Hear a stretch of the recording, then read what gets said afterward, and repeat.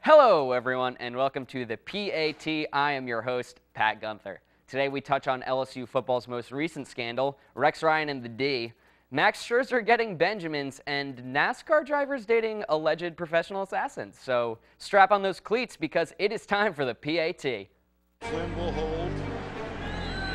And it's a fake. They give it to David, and he heads for the corner. Touchdown, LSU!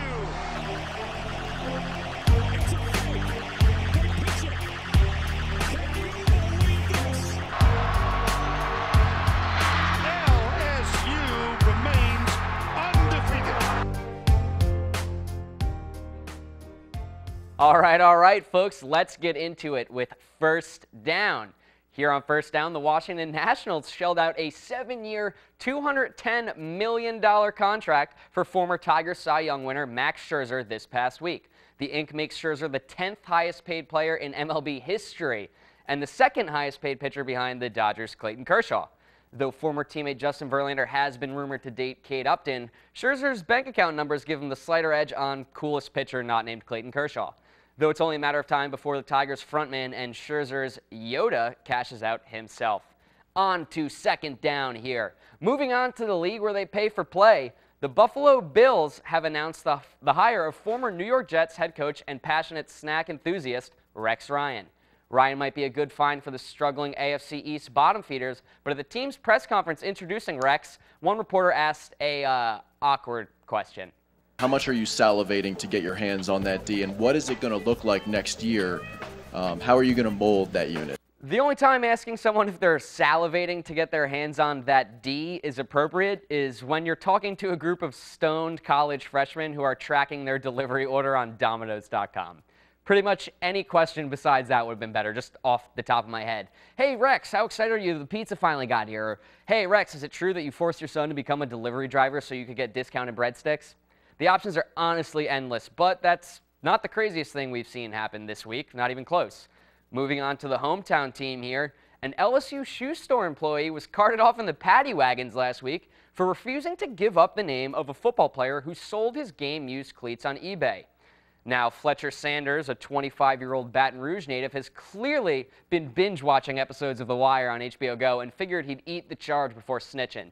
That's such a stringer bell move. So kudos to you, Fletch. And for those of you who sympathize with my man locked up in EBR, please no cakes or small rock hammers. They'll be confiscated upon entry, or so I've been told. Regardless, though, it's time for fourth down. And fourth down here is especially bizarre this week because rumored abusive NASCAR driver Kurt Busch has uh, alleged something pretty crazy. Uh, Kurt Busch states that his former girlfriend Patricia Driscoll is a trained assassin. Uh, Busch cites an incident while the couple was in Texas this past year where Driscoll left in the hotel in the dead of night wearing nothing but camouflage and returned in an overcoat and blood splattered white dress. So either Busch has taken too much acid while binge watching Tarantino movies, or he's just heard of the flick Mr. and Mrs. Smith, which would explain a whole lot in this instance. But either way, Kurt, that's a pretty crazy allegation. So I'm going to say that the extra point here is no good. Moving on to the talk of the town, LSU's number nine ranked baseball team is finally ready to get the ball rolling on their 2015 campaign.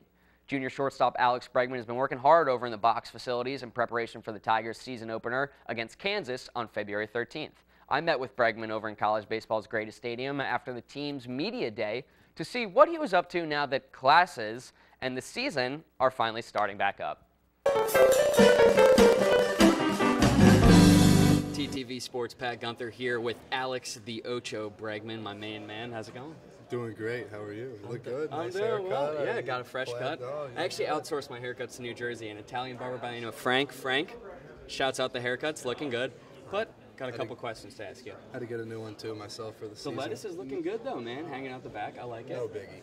They call it flow where I'm from. And Okay. Have some. so Speaking of where you're from, all part of Albuquerque, New Mexico. Your favorite season of Breaking Bad? Which one? Uh, never watched Breaking Bad. Everyone always comes up to me You and asks me though. about it. Yeah, I lived it, been there, done that. You know, but um, no, it's it's it's very popular now. Yeah. like, everyone's talking to me about it. Everyone says, "Oh, it's my favorite show," and I've never even seen it. So Yeah, I'm not gonna lie. Saw the last episode. That was pretty much it. That- yeah, but that's other than about, that, that's about right out of yeah. you. So coming from Mexico, you pick LSU. Why not some of the West Coast schools? Something like that. Why LSU? Um, honestly, to be honest with you, um, just the, the best, uh, the best fans, the best coaching staff, best teammates I could ask for. Um, and looking back on it, it was the best decision I ever made in my life to come here. So it's just it's been such a blast since I've been here, and I mean I, I can't have more fun than I've already had. So hopefully this year will uh, will end with a win in Omaha. I can dig that. And obviously, other than LSU, Baton Rouge has a lot to offer. So my question for you: You've been here three years. Favorite place to eat in, in the Rouge? Ooh, my favorite place to eat.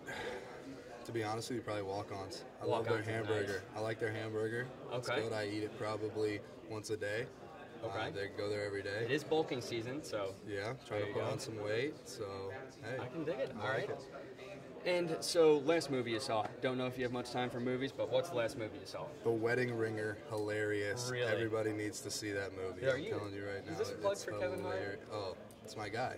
Okay, the we're, we're the same height, so I can dig it. Very nice. my guy. Okay, so uh, wedding ringer. If you weren't a baseball player, what would you be? Would you be an actor? You got you got the chops for it. I'd probably be a wedding ringer, to be honest Okay. with you. All Yeah. right. Hey, if you're ever looking for a partner, I'm, I'm done oh, May. Oh, got you, no doubt. So I'm gonna play a little game with you here.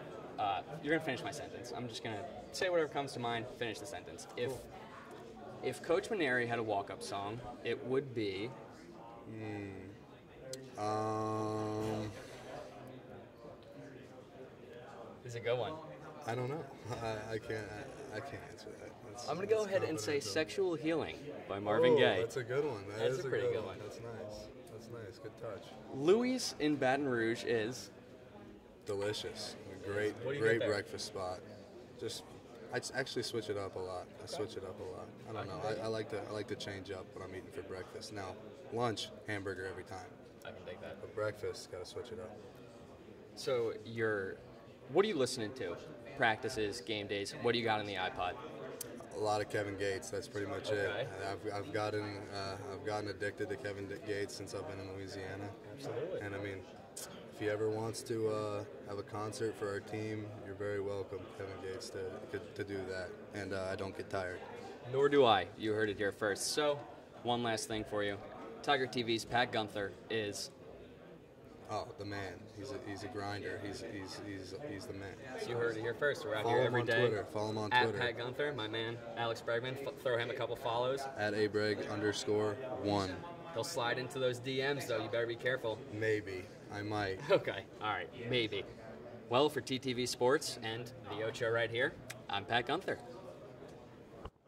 Well, folks, unfortunately, that is our show for this week. Thanks again for tuning in to the first of hopefully many episodes of the PAT.